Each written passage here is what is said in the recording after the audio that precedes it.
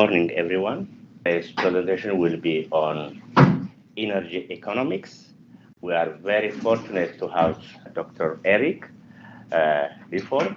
Uh, Dr. Eric Lilford is uh, an engineer and a, a, minerals and energy economics uh, economist. He heads the minerals and energy economics discipline and master program, master's program at Curtin University.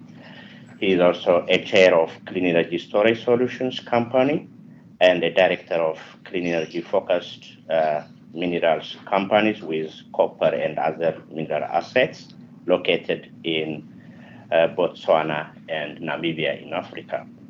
So his research focuses on economic interpretation of rules and regulations governing the global resources the sector, as well as the economics surrounding the mineral industry, the minerals industry, including those minerals and value chains associated with clean energy and energy transition. I warmly welcome Dr. Eric. Thank you. Thank you. Um, so my focus areas, as Professor said, is anything and everything to do with minerals, energy economics, which also goes into things like ESG, the S part of ESG, how you qualify, quantify ESG parameters and component parts. With a background in engineering, um, as well as in uh, economics, energy economics, minerals economics, um, and investment banking, you try and bring it all together to try and get a, an overall feel for how these interplays work with each other.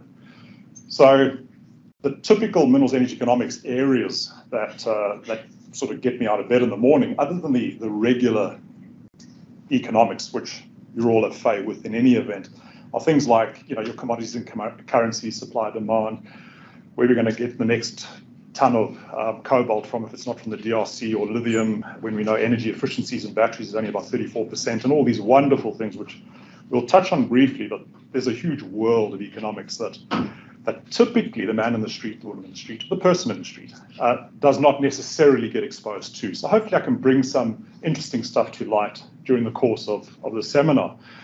The way I present seminars, I'm absolutely comfortable. If you interject, call me out. Liar, quite happy with it. not a problem at all. Um, I'm happy to take you on. I'm happy to be proven wrong. I'm also just human. So I quite enjoy the interaction. But if there's no questions during the course of the presenting, that's equally fine. I'm just going to keep on moving. So you need to speak up and, and interject because I don't slow down. So commodities, currencies, asset operation valuations for producing and unproducing assets. We all know that for producing assets, and I'm talking about anything, whether it's an agricultural field or whether it's uh, some biodiversity, you have certain things that can readily be valued. Other stuff can't. What about opportunity loss, opportunity cost? You don't have a purpose just yet for a, a certain piece of ground, a piece of land. Well, what is the value of that? It's non-producing. What could you? do? So you look at optimization, you look at opportunities. So those things really interest me as well. Um, approaches methodology. Once the methodologies comes into that kind of paradigm, where not everything is is valued or, or evaluated on the basis of a cash flow analysis. It could be on the basis of a derivative instrument, and that's fun stuff. So we will try not to get into too much of the mass of that. Um, interpretation of policy and regulation. So when a government says, are we going to change a royalty regime or a taxation regime? Well, that's all fine and well, especially in emerging markets. We want to capture an ad valorem royalty. That's wonderful. Then you look at the economic interpretation of what does it actually do to, say, like a mineral deposit or an energy system, and you realize that there's certain factors that are not taken into account with the overall implication or, or application of an ad valorem or unit-based royalty, as opposed to something like a resource rent uh, policy or a, um, a profit-based royalty. Very, very different versions of the same thing with different uh, consequences. Um, LCOEs. So I'll touch on LCOEs today, levelized costs. LCs, levelized costs, absolutely important parameter because an LCOE, levelized cost of energy, looks at the entire life cycle of an energy system. So it looks at the capital expenditure up front, the ramp up costs going, getting up to a certain point, the life of operation of an energy system, um, what it costs operations maintenance, any additional capital expansion, expansion uh, expenditures on that, contributions to rehabilitation, and then your final closure and cleanup at the end. And all of that gets brought back into a single number. It's an LCOE. But what it does do at the same time, it recognizes the fact that certain energy systems like nuclear power stations have a life or longevity of in excess of 60, 75 years, versus something like a wind farm, which might only be 15 years. So it factors all of that in. And the problem I've got with some of that is the discount rate. We'll touch on that briefly as well. Economics of ESG and energy transition. And today, it's largely around this bottom one, energy transition. So I'm going to look at the global drive towards clean energy, energy transition, but it's a transition, it's not a permanent solution. You'll understand why by the time I'm finished. What are the energy metals and minerals that we are needed, that are needed by the planet to get into this um, whole new paradigm of energy transition? As I say, there's no permanence about it. The LCs, sustainability, conclusion. I put Q&A at the end, but as I say, please interject and go wild. You'll be happy to know that my slides don't look like this all the time because one thing I do not do typically is put a whole bunch of words and numbers and expect you to then read it, understand it, because what happens is then you lose track of what I'm saying rather than, uh, or you, you preferentially start looking at the table and saying, well, what is that saying? What does that mean? Etc. What I've done here, before I get into the guts of it, I've just given you an idea of what are your comparators in terms of energy content for what, from whatever source. And what are your carbon footprints? Because the biggest issue around where we're moving in energy transition is to move away from fossil based or, or carbon based fuels. That's the whole drive. So the question then comes up well, is man responsible for climate change or has nature, geology, in these cycles of 50 to 70,000 years, we were going to head for higher levels of CO2 in the atmosphere in any event? Well, there's room to be said that we're possibly speeding up the cycle. And it's through using these fossil fuels, we don't assist um, the cause of getting to that um, shortened cycle of, of climate change. So climate's always changed. They have for time immemorial. We're just shortening the period at which these events actually transpire, and they're quite devastating, as you have seen. So your typical high carbon content um, sources of fuel that we love to, you know, switch the lights on and guess where most of our um, power comes from here in WA. Let's not say too much because it tends to be rather filthy. Through to diesel, petrol, crude oil, LNG, LPG. What you do have moving towards a sustainable, clean economy from an energy point of view is things like hydrogen.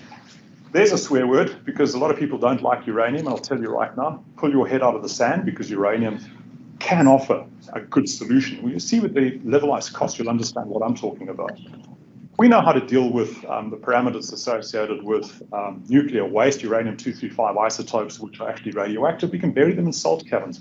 I can tell you right now, as Professor said, that I'm on the board of a, a company that is looking at um, energy storage solutions, which is hydrogen, but you can use the same salt diapirs for storage of things like um, expended or expensed fuel rods. So depleted rods, they're not totally depleted, um, they still sit with about 0.8 to 1% um, uranium-235, so they're still radioactive, but you can bury them in salt layers, and there is no external influence, none whatsoever. We know in the US they bury um, spent fuel rods in uh, the Ural Mountains. Well, I'm sure that mountain glows in the dark by now.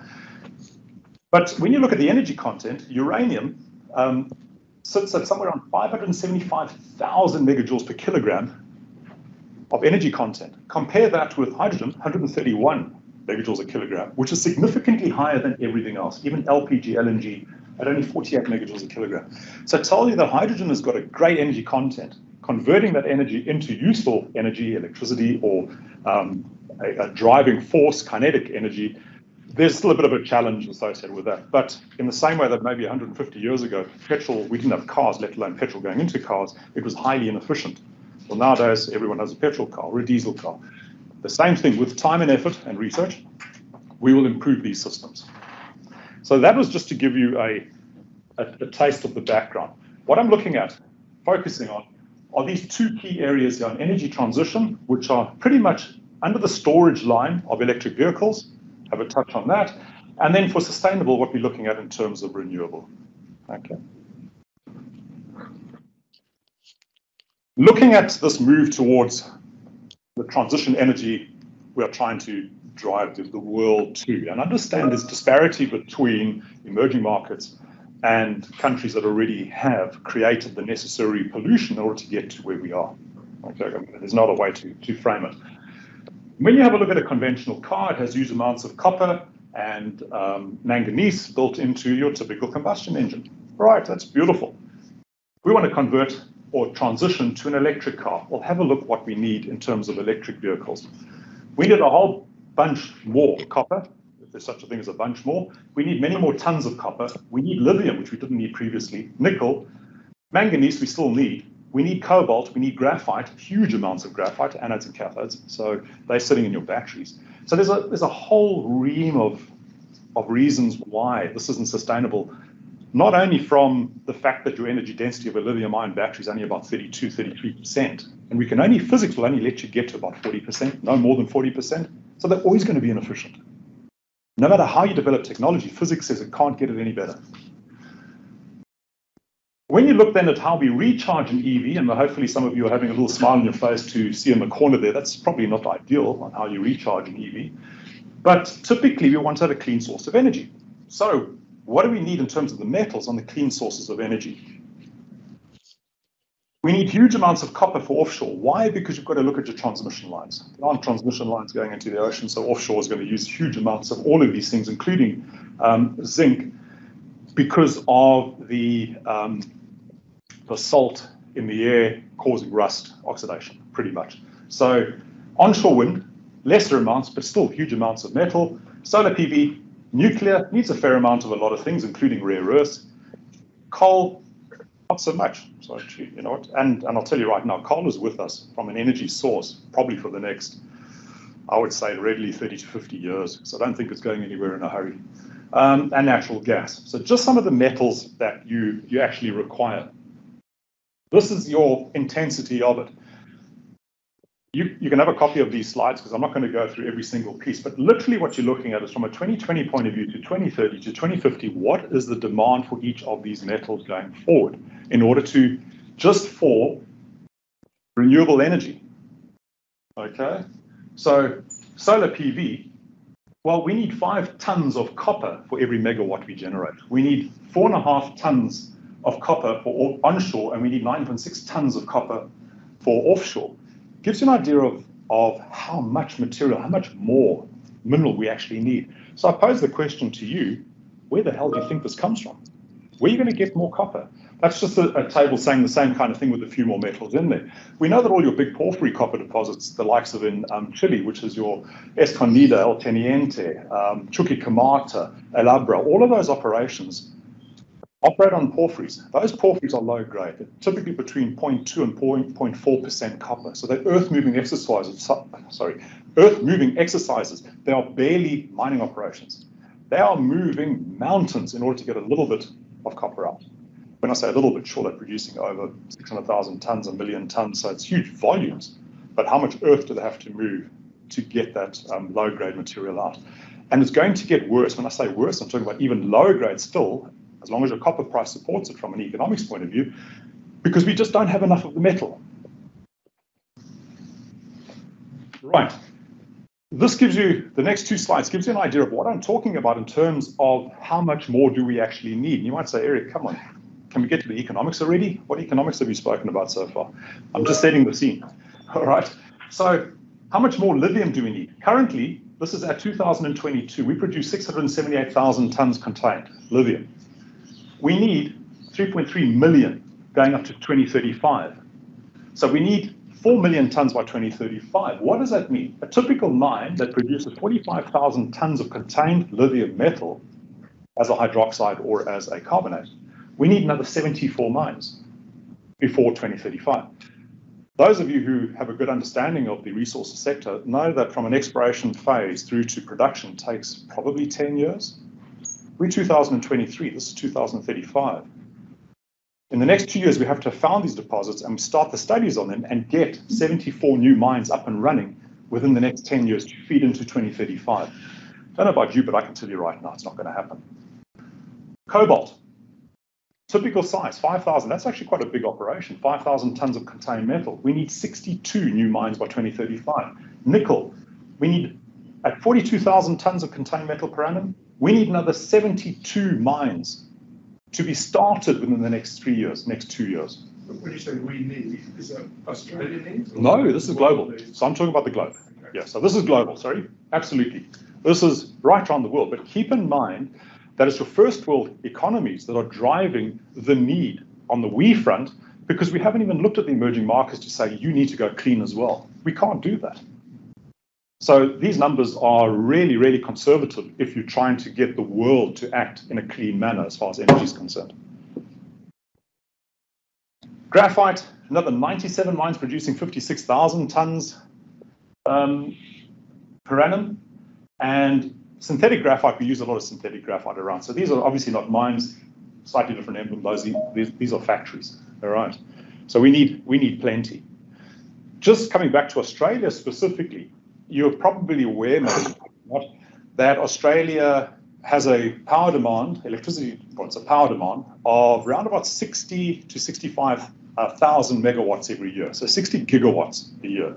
So on the basis of 60 gigawatts a year, if we wanted to convert the whole of Australia to clean energy, clean renewable energy systems, we would need, and you only have about a 30 to 35% capacity factor, both for wind turbines and um, solar panels, right? The sun doesn't shine at night and the wind doesn't always blow. So you have to have these things called overbuild and uh, curtailment a, and you need landmass. And this is what this is showing. That in the landmass, when you look typically that your standard um, wind turbine is a six megawatt turbine versus solar panels, your standard panels are 800 watt panels. To get the whole of Australia on PV solar, we'd need over 2,000 square kilometers of land to be able to, to secure that kind of power. There's a problem with that as well. As I said, the sun doesn't shine at night. So that might be great that it meets those power requirements but it doesn't solve our problem. We need to have energy storage that goes with that. All right, and you can see I put in a little blue there, excludes storage. Mm-hmm. So you need even more land, let alone even more metal for that solution. For wind, it's even worse. You need just under 30,000 square kilometers. Because, you know, wind turbines, they create turbulence in the air that affects the next turbine, so you've got to have the spacing. So what you do is you have 0.9 of a square kilometer for every turbine. Whereas for um, solar, you only need eight square meters um, separation or eight square meters per panel, which includes your, your area in between, so you can actually go and clean these things and service them, etc. So that equates to about 170 by 170 um, grid, 28,000 square kilometers. To give you an idea, the whole of ACT is only 2,300 square kilometers. So you need the whole of the ACT just for solar, and you need a number of ACTs just for wind. The issue that you're going to have in any event is that we can't transmit. Australia's a huge country. So how do we get transmission? Even if we took over the whole of Canberra uh, or the whole of um, ACT, which I don't think we're missing any politicians, but assuming we took over the whole of the ACT and put these things in place, transmission becomes an issue. And just to give you an example here, India recently they commissioned the um, the Bhadla Solar uh, Solar Park, 56 square kilometers. So their um, area density, 40 square kilometers for every megawatt. This here, wind, 2 square kilometers per megawatt. And our solar panels are 29 square kilometers per megawatt. So that's 40. Not sure what India has done to have almost double what uh, the stats are saying, but that's a lot of land. Okay, the fun stuff, we can actually get onto the economics now we set the scene. So the whole term behind levelized cost, literally what you're looking at is longevity of, a, of an energy generation system, and then all of the costs that go in, the capital expenditure, the operations and maintenance, um, any expansions, uh, operating costs, any cost, including uh, closure, post-closure, monitoring, all those things. So every single cost that goes in, and then there's this horrible thing called the discount rate. Discount rates, typically we, we work on a weighted average cost of capital, which looks at the weighting of the balance between equity and debt financing. I have a problem with how this calculation is performed, but I'm uh, still doing more on it to say what would be preferred. Because when you fund these uh, developments, are you only looking at the cost of equity and cost of debt, or should it just be the cost of equity? Or should it actually be the risk-free rate of interest, which is a return on a government bond on a post-tax basis? Should that be your discount rate? you know, your cost of capital, which you're probably aware, you know, in your capital asset pricing model, it's that equity component. So there's still, Say there's debate on it. I'm about to demonstrate that there's some flaws associated with it. But, but it's one thing to point out errors. It's another thing to say, well, then what you should do instead. So I don't want to just say, well, this is a problem without giving a, uh, an alternative. So that's what I'm working towards. Just on the capital expenditure front, before we get into the, um, the actual overall numbers, just the capex. So natural gas peaker is costing 13.7 US cents for every kilowatt hour, all the way down to land-based wind is costing you 3 cents, 3.3 cents per kilowatt hour. So you can see there's a, there's a big range in terms of capital expenditure. But as I said, capital expenditure is only one small component part of your overall, overall levelized cost, which operating cost is typically the biggest part. And in fact, on top of that, if you're looking at coal and other consumed energy sources, um, like gas, you've got uh, your fuel is a big component of cost. This is what we show here. All right, so this is modified after Lazard uh, 2022. So I've done more work on this and actually split it out into uh, what I would think is more succinct kinds of, uh, of numerics. All the way from solar rooftop residential, solar commercial industrial, solar utility, solar utility plus geothermal, wind, onshore, offshore storage, gas peaking, nuclear coal. So you can do the full comparative of where we are here. What's intriguing is that we look at the likes of nuclear and say, well, no wonder we don't want nuclear. It's so expensive on a level like cost base. I hear you until I show you what's wrong with all of those solars and winds that are saying, oh, you know, we're so cheap, we can get down to 38, and these are Australian dollars now, right? Australian dollars per megawatt hour. So we can get wind right down to between 38 and 117 um, onshore, and we can get solar utility scale from 38 to about 150, almost the same kind of range. And that sounds wonderful. Gee, this is this is great. Let's carry on pushing. There's a bit more research and will become sustainable over time, but we still won't get the sun to shine at night. So we're still going to have an issue that, and you'll see towards the end, I, I, do say that the final solution is not any one of these in isolation. It's a combination of them. So I'm not trying to suggest that none of these works. I'm trying to suggest to you that don't look at any one in isolation and say we're going to go clean with just solar, or we're just going to combine solar with wind and we've got a solution. We don't. What I've also done in each of these is I've, I've split out what your typical capital expenditure and operating cost component is, because that's an important part of LCOEs, of your levelized cost of energy. And then for a lot of these, you know, solar, well, we don't pay for sunlight, so there's no fuel cost. But of course, when you go to coal, you have got a, a fuel cost. You know, 16% of the cost, the levelized cost, sits in fuel. You also have variable costs, you've got fixed costs, and you've got capital expenditure. So that's how you read this. And again, you get a copy of these and you can have a look at this in greater detail. Before I get on to the one that then shows you the reality of where we are. So that's somewhat theoretical, but it, it, it is reality, but it doesn't take into account all the facets that are associated with the various cost components associated with these clean energy systems and the move towards sustainable clean energy. The trend lines are looking good. So beautiful solar PV crystalline has come right down from years gone by. It was one of the most expensive back in 2009. The end of 2021, it's one of the cheapest. Hey, brilliant. We're on the right track. We haven't got there yet. We're on the right track. So your learning curve is absolutely wonderful. You'll see that there's not much more learning to be done as far as nuclear or gas peaker or solar thermal. All of those stay relatively flat um, over there, but there is still room for further improvement um, on some of the others, on some of the other renewables. I mentioned to you that I got a problem with these discount rates because the discount rates, as I said, is um, typically defined from your um, weighted average cost of capital, which is, as I said, the weighting of debt and equity. It actually should be the weighting of your debt, equity, and pref shares. We don't have pref shares, pref shares in Australia, so let's ignore those for now. But what ultimately transpires is when you have a look at the impact of a discount rate on the mass behind an LCOE, you start saying, well, gee, this is quite an important factor. We can't ignore discount rate. We can't just look at the capex and the opex and the operations and maintenance closure costs. You have to give the same kind of attention to a discount rate.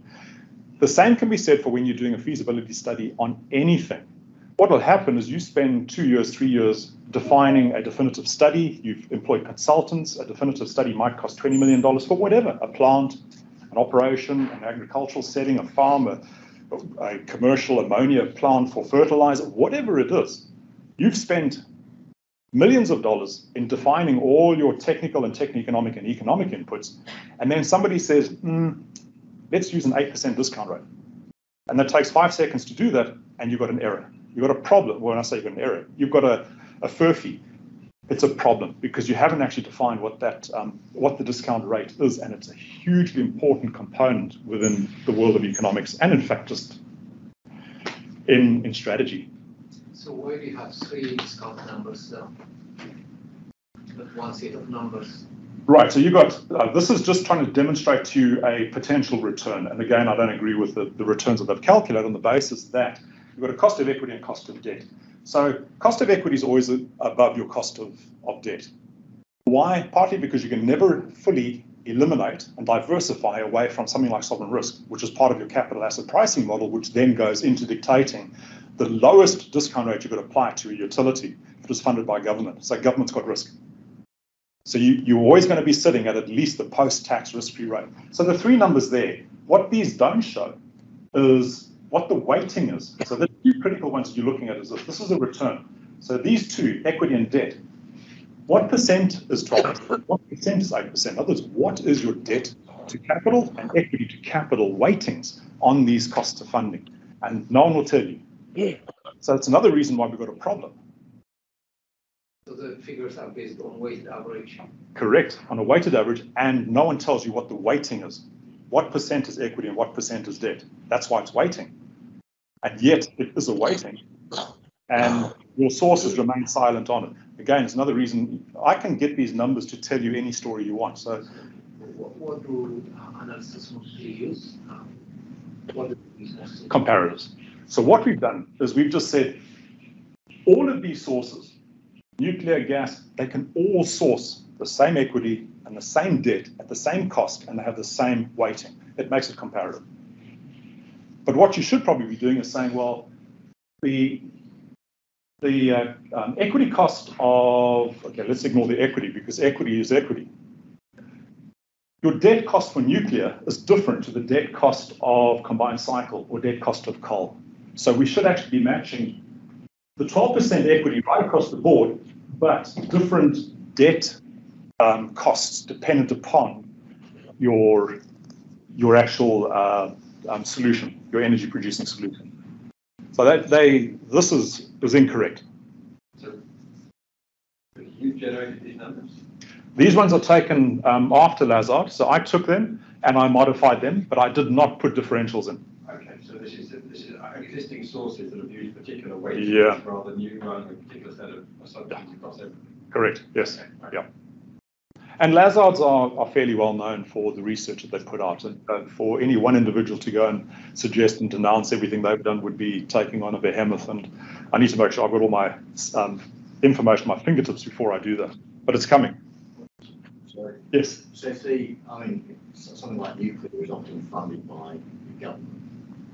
Correct. Which discount rate should you? You should look closer to your sovereign risk rate, which is the return on a government bond. Because they are sourcing their fund. The government sources its funding through Treasury. Treasury supports or secures funding through the IMF. The IMF lends to various um, economies, or the World Bank through various economies, at the sovereign risk rate. That's the return they get. So you're looking at the post-tax uh, cost of equity, which effectively is just the sovereign rate, uh, sovereign risk. Because remember, your capital asset pricing model is your um, RM plus your factors on beta. Well, you don't have a beta for government. There is no beta multiplied by your um, your actual market risk premium. But there is no market risk premium here either because it's government. So that drops away, and all you're left with is your risk-free rate. And the risk-free rate is the return on a government bond. Make sure it's post-tax. So should all these be compared on the, you know, on that basis? No, and the reason is because nuclear may be funded by government. I can tell you right now, most of the others are not. Now, wind is commercial. So, wind, then you have to say, well, this goes beyond government because what will happen is Treasury will then lend out to your commercial banks, and commercial banks will provide the loans for the others to develop their private practice. So, no, but if the, your, your question is very fair, if the government supported and funded and had a parastatal that delivered a, a wind farm, then yes, absolutely. Then you'd use the same sovereign risk rate for that. So you're doing a policy comparison, you use the same discount rate, but if, if you look at what, what the private uh, company would actually take as their incentive, then it would be these discount rates. Correct. Now be, be careful on incentive because incentive includes a hurdle rate. I'm not talking about hurdle rate yet. All I'm talking about is the cost, the cost of funding, the cost of equity, and the cost of debt. If you want to, if you say that um, commercial entity wanted to get a three percent return above its borrowing rate for equity and debt, then you add, you will add three percent to your WACC, to your weighted average cost of capital. Then you get a, a WACC plus a factor, which then gives you your return. Okay. So is there a reason why they don't review the rates that they're using? I don't think there is a specific reason. I think if I had to guess why they don't release them, you go through the entire report. So these reports are available if you go into the into the website. And the 2020, there is a 2022 report in there. Uh, they didn't have the layout the same way. Um, even then, they don't tell you what the weighting is because they don't spend much time on the discount rate. They're more concerned about trying to get your full capital cost and your full O&M and your full closure and fuel costs, etc. So no, they don't. They don't divulge what the weighting is, which is most unfortunate. And I think a little bit of a a little bit of mischief. You should because it's such an important part. How strong an assumption is it to, to be telling stories like um, this in terms of global costs and so on, uh, when things vary a lot between countries? It will. Sovereign risk varies significantly one country the to the next. The cost, for example, if you are thinking of uh, offshore wind or, Mechanics, I mean, yeah, in in different countries, Yeah. cost of things are quite different. They will be different. And we'll get to a point now, coming up, I think it's possibly even the next slide, that then starts factoring in things like what you're talking about. What are the things that are not said in these calculations? So these calculations will apply typically to first world countries that are, you have similar parameters around, you know, what does cost offshore versus onshore, and your policies are fairly similar and they're stable and you have low sovereign risk, and it's those are all the same. But if you wanted to go into Gabon and go into the Atlantic Ocean um, offshore and then put a wind farm up there, can you use these numbers? And I'll tell you right now, no, definitely, of course you're not, because you've got things like mobilization costs, you've got import um, duties on equipment. So you bring all of this, you know, uh, hundred million dollars worth of equipment in, including your blades, and and there's an import duty on it. This doesn't factor in anything. That's a component part of cost, but there's nothing like import duty in there. There's um, withholding taxes. So your wind farm, your your uh, the government won't fund it. I can tell you right now in Gabon, they definitely won't fund it. So it's private, but they've got a withholding tax. So you've got an additional tax on distributable income if you're trying to divvy it out of the country. There's another 10% you take off. So those costs, if you need, if you want to run the exercise for a specific country, you take the specifics of that country into account. So this is, I, I like your point. This is generic, and it's generic for first world countries. Yes. Just one question, why nuclear is more sensitive to the WACC than geothermal gas combined cycle? Okay. How many discounted cash flows have you done in the past? Uh, not many. Not many. That's a fair answer, because otherwise I was going to say you need to go back to lectures and listen. Yeah. Um, it's because your capital expenditure is front loaded. What does it cost to produce about a 3,600 megawatt nuclear power plant? It's between 18 and 20 billion dollars. That money is spent up front. When you start discounting over time, what numbers get discounted the most? Because discounting is compounding. It's a compounding discount. So your 18 billion stays as a negative right up front, but all your benefits later on are being discounted by time and a compounding factor. Hence, capital expenditure is your big one for nuclear. It's the most expensive per megawatt hour. Okay.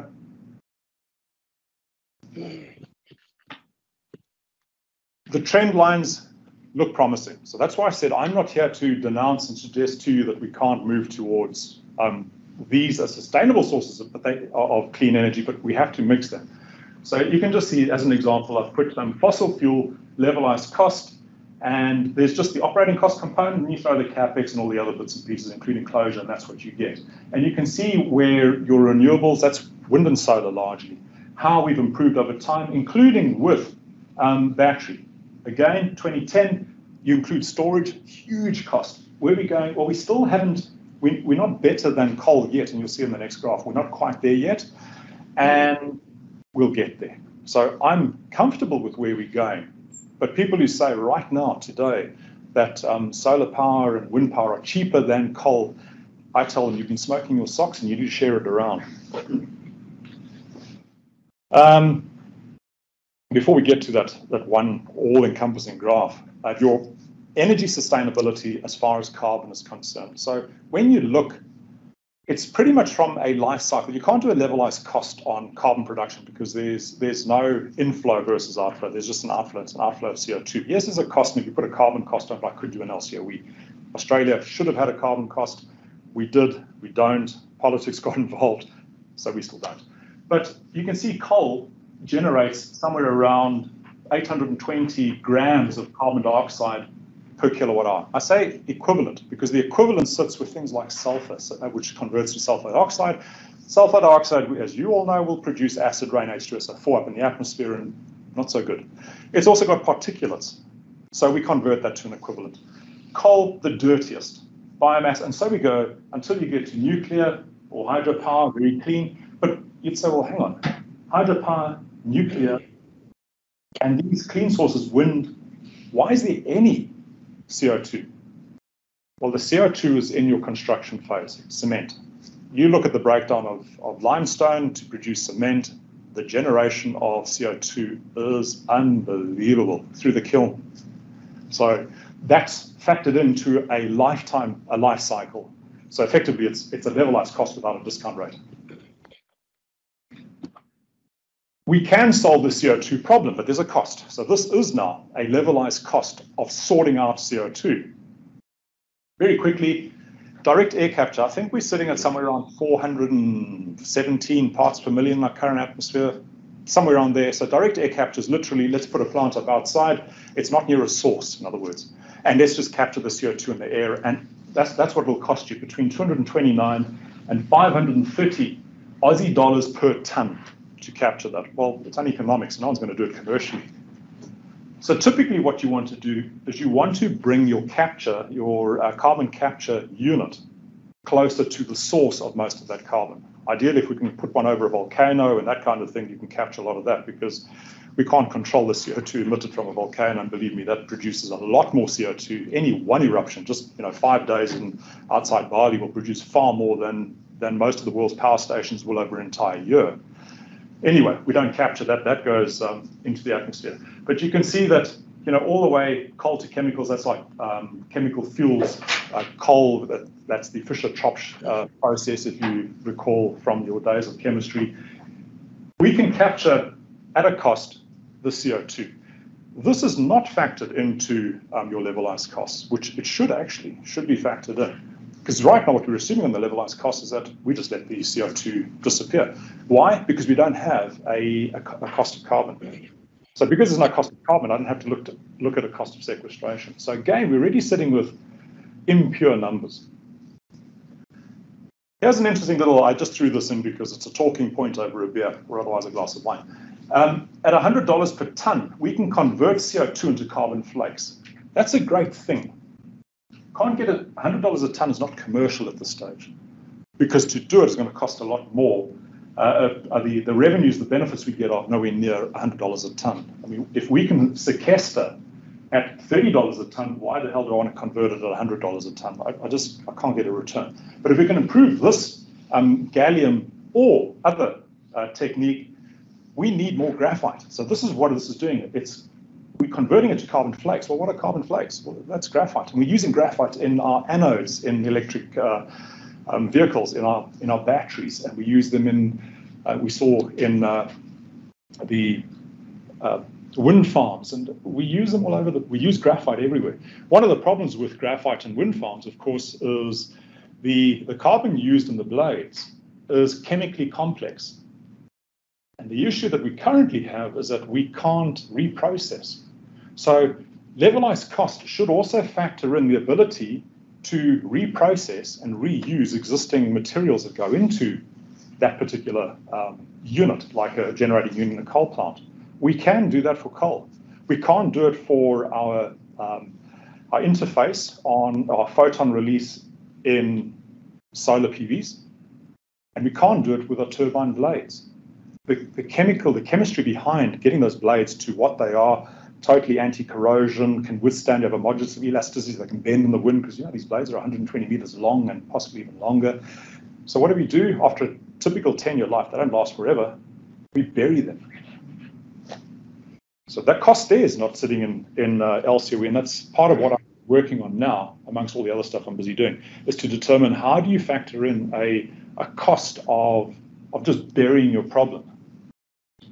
So this is the one I wanted to really get into. So when you start looking at this from a realistic point of view, what are we talking about? We have the total levelized cost on a sustainable basis. Now, sustainability means that when the sun doesn't shine, I can still draw power. When the wind doesn't blow, I can still draw power. So what you see here, if you ignore from the yellow upwards, you can see that wind and solar are significantly cheaper, very close to natural gas, um, closed, uh, closed circuit. And that's a closed circuit with a turbine. So very, very similar and becoming cheaper and cheaper. But, and the but is, they're all private. So you've got a utility profit that's never factored into an LCOE. What about a land tax? I gave you some idea of how much land you need. What about the land tax? What's part of the? And you pay land rates every single year if you've got a wind farm or a solar array. So there's a land tax. What about transmission? We know that wind transmission, certainly offshore, you need quite a bit. So there's a little bit in transmission. What about load balance? What is load balance? Oh, well, as I said, when the sun doesn't shine and the wind doesn't blow, you need load balance. So that's a storage system. It doesn't have to be battery. You could do something like um, salt thermal storage. You could do uh, pumped hydro storage. There's other ways of storing, but at the end of the day, you've still got a, a significant cost associated with when the sun doesn't shine or when the wind doesn't blow. And the last one, which are big numbers, overbuild and curtailment. Because remember what I showed you, that in the LCOE for um, solar and for wind, I said that this country needs around about 60 gigawatts a year. And yet I had a factor of three times because your energy density or capacity or efficiency is only 30%. So you need this overbuild.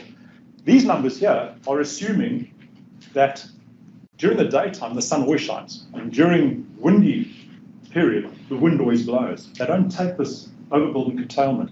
What also happens what it doesn't take into account is that on a very cloudy day, so what is your um, solar generation, your power generation today? It's very cloudy, the clouds are fairly thick. What penetration are you getting from light? Because remember, this is not about heat, all right? Your photons are released on light, so it's not that light at the moment. So what kind of release rate of photons do you get in, in solar? Well, not as, it's certainly not 100%.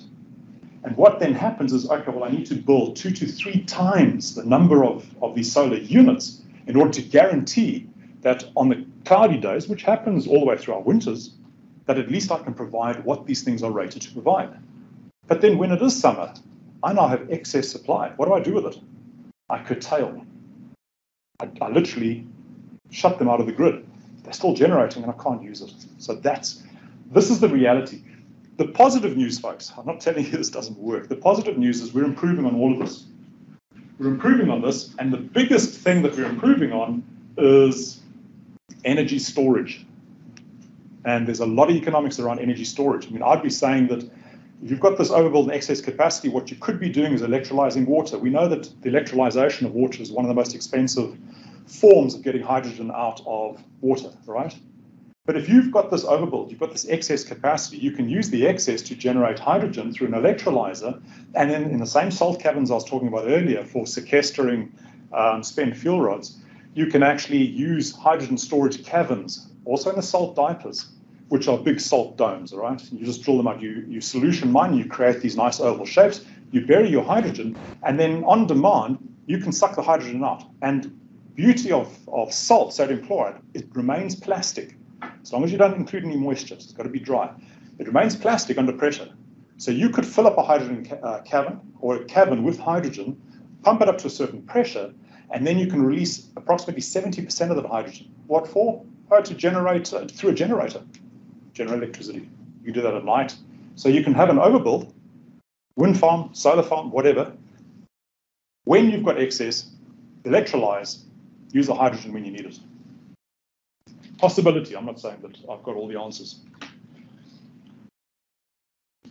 mindful of time, got a few more slides which just show you um, a little bit away from um, the pure LCOE kind of stuff we've been talking about. To get energy out, you need to put energy in. This is just a, a rough table. It is really rough because I did some calculations and that's why there's a range in this. And what the the bad stuff is associated with it. But you know, coal, for every one unit of energy I put in, I can get 50 to 80 units 50 to 80 units of energy out. So it still remains highly attractive from a energy efficiency point of view, energy in versus energy out, and also from a cost point of view. Nuclear, you would think it would be much higher, but it actually isn't. Because bear in mind that your fuel rods are only down to about 3.5 to 5% uranium-235 isotope. You take it higher, much more, to beyond that, and you start having um, your proliferation and your United Nations start looking at you very closely because it's considered anything above 20% as weapons grade. We know that you can't create a weapon at 20%, um, 235. Your weapons start coming into play at about 80%, 235. But if you can do 20%, believe me, either with cascades or with ASP, aerodynamic separation process, you can get that um, concentration of, of your isotope 235 significantly higher. So that's always the fear. To do 3 to 5%, not a problem. No one's too concerned about it. So just, again, for your consumption um, and interest. Very briefly, so we, we're shifting tack slightly. With this whole clean energy transition, we move to ESG. So you folks definitely have, have a good handle on the whole idea of ESG, environmental social governance, notably the social side of it. What are the economics of ESG?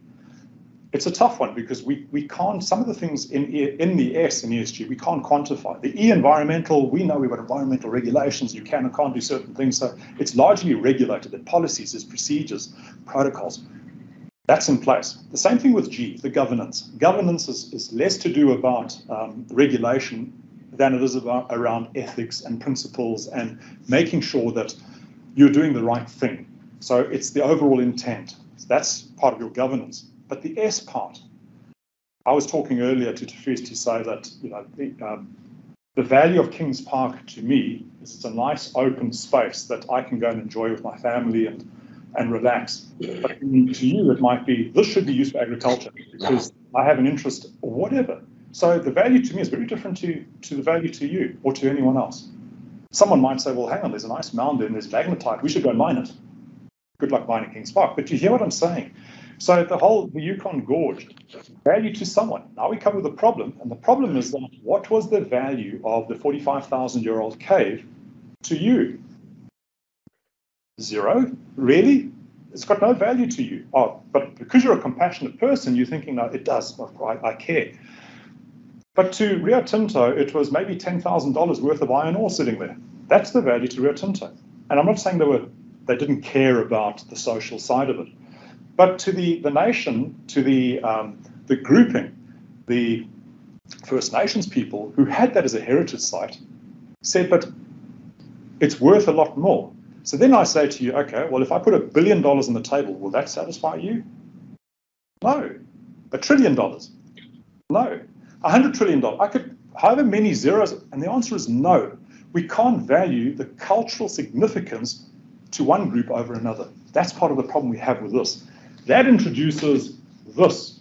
Now, this is what's taking up quite a bit of my time at the moment. So, and it's notably down here. You heard um, Donald Rumsfeld during the um, the war back in 2000. Yeah, there's a good nodding of a head over there, and he introduced the whole idea of the known knowns, known unknowns, the unknown knowns, uh, uh, known unknowns.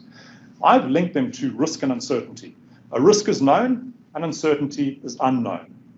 Tangible is known, untangible intangible, sorry, intangible is unknown.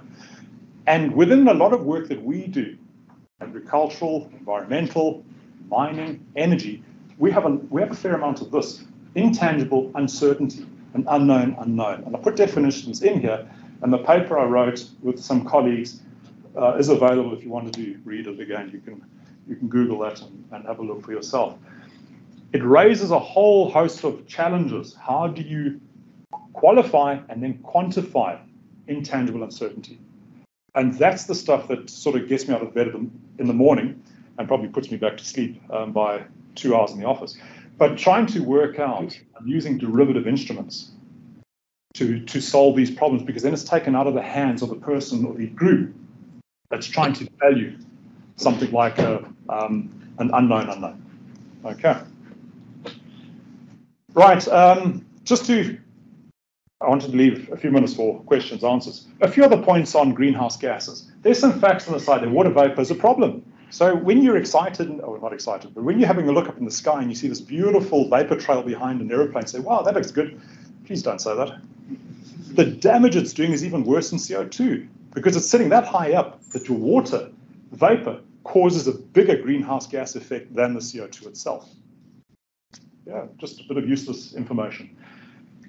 Interestingly here, we love CH4, right? We're using LNG, liquefied natural gas. Liquefied natural gas is methane. Methane is CH4. When you burn it, per unit of energy, it generates less CO2 than burning coal. Beautiful, that's wonderful. The problem is a lot of gas escapes and it's not burnt. When it doesn't burn, it's between 25 and 27 times worse than when it's burnt as CO2 to give off CO2. So the residence time for CH4, it's only about 10 years. So if we stop CH4 altogether, methane, 10 years and the atmosphere is cleaned up. Whereas CO2 takes between 300 and 1,000 years to disappear. Okay, and then uh, I've got hydrogen. There's if it escapes, hydrogen is absolutely clean when you burn it. If you don't burn it and it escapes, it's a huge problem. There's only one that we know of. There's only one naturally occurring hydrogen uh, deposit in the world. It happens to be in Mali. I'm not sure how many of you want to go into Mali and try and go mine it. I've been to Mali many times, and I can tell you right now, it's not a place I want to go back to in a hurry. Wrapping up, the final energy solution that we're looking at would cost, by 2030, would cost the global economy $514 billion, split down into these components, battery minerals, the batteries themselves, and then the actual metals that we saw earlier that we need. So you can peruse that. And then the, my final slide is to show you where we are as far as the planet's concerned. So this is end of 2022. I'm sure some of you get the elements. They show nice graphics. I have to go and check the numbers because truthfully, I downloaded this this morning. It, this is very, very recent, so this is hot off the press. I haven't checked the numbers, so if you call me out on as a liar on this, I'm going to go back to these people and say you're lying. Okay, so this is not me. This is someone else. Um, elements, and you can see that from a renewals point of view, end of 2022, we're only at 14% of global energy. In fact, it's global electricity. So it's not energy, it's electricity. It's a very big difference. Energy would include things like your oil, um, would include whatever your other sources of, of energy are, um, kinetic, kinetic systems or potential systems. So this is just electricity. Okay, folks, what I've got just in the last few, I put a bunch of, this is pub talk, right? There's some, I hope you find some of these things interesting. Have a look at the slides um, and go through this because you might pick up on something here and say, shit, I want to talk about that because you can open a can of worms, you might get punched in the teeth or whatever. There's more, and guess what? There's even more. So cheapers, you're going to go for a hell of a long drinking session. Or maybe split, it gives you a good reason to go to the pub a few times. Okay. And that's my last slide. So there's no individual re renewable a solution that is sustainable in isolation, right? We have to mix them all together. LCOEs are biased to whatever story you want to tell. I can get, make those numbers tell the story that I want to tell. You can do the same thing. We're When energy transition phase, please note it's transition. So what does permanence look like? Thanks for your attention. I open it up to uh, to any additional Q&As. Okay, thank you. Um, thank you very much for the talk. Very interesting and Yeah. challenging as well. um, uh, now, let me see. I'm just trying to find my. to go back to where we were. Yep. All right. So, yes. I had two actually. Um, one was regarding the numbers, the energy uh, numbers that you've been showing us, uh, including the energy return on investment and all and all the other ones. Is there in heat equivalents?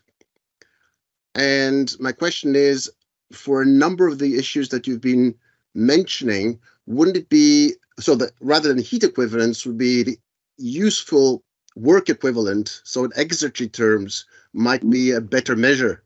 And uh, in terms that, well, studies have shown that they correlate much more closely to the amount of uh, economic value that they produce. So that's one. And Yep. the other one, uh, maybe I'll, I'll let you answer that one first. No, that's a very fair point. So when you look at it from an energy content point of view, absolutely, that is usable energy, that is generatable energy, but it's not necessarily on um, what you're referring to as an overall uh, factor associated with what the benefit is. So you can rerun the numbers, but what will happen is you'll get a, a fairly similar trend as far as the as the outcomes are concerned. So one of the issues we we face is that we talk about the pure academics of it, which is one thing that you and I and, and others in the room will look at. But we need to be able to sell a story to consumers out there to impress upon them that we need to go clean, we need to do things. And if we start talking about uh, aspects that I understand, we're going to be lost forever. That's why even things like an LCOE on a per unit energy basis, energy output basis, is a way to go because a lot of practitioners have got to pay electricity in terms of kilowatt hours or they whatever. So they understand the nomenclature. We introduce new, new nomenclature. It's much like nuclear power. When you don't understand something, the first thing you're going to say is, "Oh, I don't believe it. I, I don't, I don't go there. I don't want nuclear power." It's got nothing to do with the realization of what nuclear power um, is and what it's about and the goodness of it. It's all about what I don't understand. I don't want. But I do agree with you. Oh, absolutely. The, the numbers should, and possibly, uh, you know, if I had a few more hours, um, I would run a similar uh, graphic to demonstrate what that looks like um, on the other front. So, absolutely, I agree with you. Um, the other thing is a, a question regarding um, data. One thing that I would have liked to know is what are the energy requirements? Maybe they're kind of included in the energy return on investment, but specifically the energy requirements to extract and process all these metals in order to substitute um, fossil energy, uh, fossil fuel energies by renewable energies, because I think that's part of the picture. Yeah, again, you've got two component parts. One is the life. So, what energy systems do you do you engage with for the point from the point of view of renewables? Well, in renewables, as I said, you need limestone, it's mining and processing, kilns. You need the metals, so that's mining. There's a mining cost, there's a beneficiation cost, there's a fabrication cost. So you've got all of the mining costs associated with getting something like a, um, a wind farm up or a solar farm or array up. The problem that you have is that those systems only run for 10 years, maybe 15 years, and then you actually have to get rid of them and you replace them. You can't just go and re- replace component parts. You literally scrub the whole lot and you start again. Whereas the same costs will go, or the same um, into determining those component parts for fossil fuels and for nuclear power and any other en- energy system, you're looking at a much longer uh, tenure as far as in operation is concerned. So you start playing with different tenures, which then brings the levelized cost component or um, analysis or tool into greater import. It's it's of greater importance to look at it like that rather than on something like a um, a zero NP, uh, a zero discount rate on an NPV or whatever um, metric you're going to use, because you're not factoring in the the life cycle beginning to end. Thank you. You started off by saying that demand for these metals is going to explode. Presumably that's going to manifest itself in the prices of those eventually. Are those being fed into the comparative costs of these energy sources Not at the moment. at equilibrium? I mean, just So when you have a look at what, what does an LCOE actually mean? An LCOE means the price at which you're going to sell energy in order to cover the cost of just producing it. So that's all the LCOE is. So when you look at the um, the overall um, costing and the various component parts of the costing, the answer is quite simply no. You're not going to uh, consider that your commodity prices are going to reach stratospheric numbers anytime soon. That was, I mean, copper is sitting at about uh, at about 360, 370 cents a pound at the moment, uh, just under $8,000 a ton. To get the amount of copper we need, that copper price would need to go to 20, $30,000 a ton. What are the chances of that happening? You know, from an economics point of view, you know, anything's possible. If the demand is there, you need supply. But who are the investors who are going to risk mining 0.1% copper that my expectation is in 10 years' time when I start selling my first metal, the price is going to be 30,000 because at today's price, I can't make money. A couple of things are problematic. You won't get equity and you won't get debt. You can't develop the project. So you, you, we're sitting with this, it's a dichotomy almost. It's You're not going to get investment in new operations unless the price moves. You're not going to get the price moving unless you get the demand. You're not going to get the demand unless the people in demand are, are suggesting that they've got a source that can actually supply. So it's this whole chicken and egg. How do you get this thing up? We're not going to new equilibrium. It will evolve at that point. You, you get a paradigm shift, correct. I haven't got a paradigm shift, but just as in the system's going to evolve to the point where if really you're pushing, or the, the cap on, say, wind power will just occur because the prices of the bid up the price of copper the current producing one more wind power station offshore, easy, cheap, done. Multiplying that up to 20% of Australia's can't be done on current prices. No. So the interesting thing is where does that sit at the equilibrium? What's the equilibrium portfolio mix once you've accounted for all the supply demand components? If you can, is anyone trying to look that out? I think when you, you look at where your margins are and returns, because these are private investors, effectively they're private companies. They don't, truthfully, they don't care on the pricing side. They want to look at margins all the time. They look at margin, they look at return on investment. So for wind farms, you're going to get price of metal, um, prices of metals are going to go up because of increased demand, because people want to build more and more wind farms or solar panels or whatever. So the actual quantum being um, in demand is going to go up. But these utilities are just saying, well, I still want a, a 7%, 10% return. So irrespective of what's happening with the pricing, they're just going to keep on factoring this 10% return. So prices will go up. And that's why I'm saying that you can, what is the likelihood of these prices of copper or for graphite going up exorbitantly? Graphite, not so much. There's plenty of graphite around. I tell you right now that to get up to those kinds of numbers, we bring a few more graphite mines into operation. So, well, where are they? Australia's got a lot. Mozambique's got plenty. They, there's huge capacity. Tanzania has got huge amounts of graphite, which can kick in. So you're not going to get a price move in anytime soon for graphite. Copper's a different story because copper's used more than just for clean energy. It's used right across the board for anything and everything, including combustion engines and transmission, etc. We need more copper. But we also have this finite capacity. We can't keep on producing more and more copper thinking that the price is going to go up for the reasons that I mentioned. Um, that you're going to continuously focus on your margins and the returns, and your private companies, which we're calling public companies, your listed companies, are not going to be spending hard-earned money or um, shareholders' equity in taking something that's that's at risk because, as you all know, your directors will get fired. So again, it's this chicken and egg. Things will transition. I say paradigm shift, and the reason I use the word paradigm is because that's a stepwise change. We're moving into an environment where we will get a stepwise change in a few of the commodities. You look at some rare earths. We know that uh, China produces or markets and produces around about um, 80, 90, 91% of rare earths as a metal. And in fact, they don't sell metal anymore. They, they now sell the completed motors, not even magnets. They won't sell magnets. They control it, monopolize the market. So the rest of the world is saying, wow, let's get into this. Well, the chemistry is quite challenging. You've got 17 metals, 15 are lanthanides and the other two, yttrium and, and one of the others. And Australia has said, oh, we'll get to producing metal. What's it going to cost? And right now, because China has it monopolized, they control the pricing.